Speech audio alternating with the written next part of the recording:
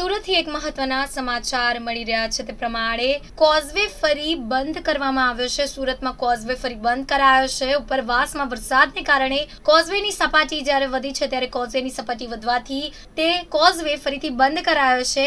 રાંદેર અને વેડ રોડને જોડતો કોઝવે બંધ કરાયો છે. લોકોને હાલાકીનો સામનો કરવો હવે પડશે. તો જે પ્રમાણેના મહત્વના સમાચાર મળી રહ્યા છે, તે પ્રમાણે જ્યારે ઉપરવાસમાં વરસાદને કારણે કોઝવેની સપાટી વધી છે, ત્યારે કોઝવેની સપાટી વધવાથી તેને બંધ કરવામાં આવ્યો છે. રાંદેર અને વેડ રોડને જોડતો કોઝવે બંધ કરવામાં આવ્યો છે.